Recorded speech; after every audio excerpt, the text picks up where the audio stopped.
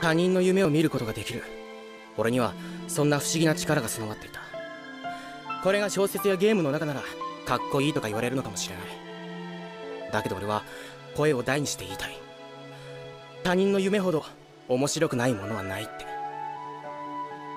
かったるいな。でっか。